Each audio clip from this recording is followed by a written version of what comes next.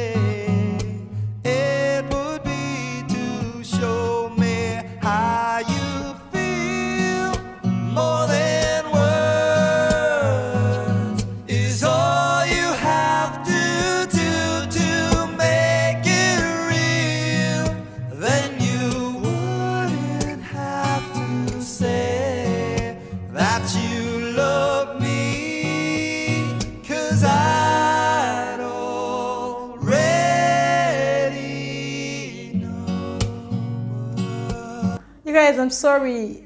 Am I missing something here? Hold up. Is this is this song old? I thought this song was sung by Westlife. Like I don't even understand. I, because I know this song. I've heard this song before. I just don't know the lyrics. But I thought it was sung by Westlife. Seriously. Wow.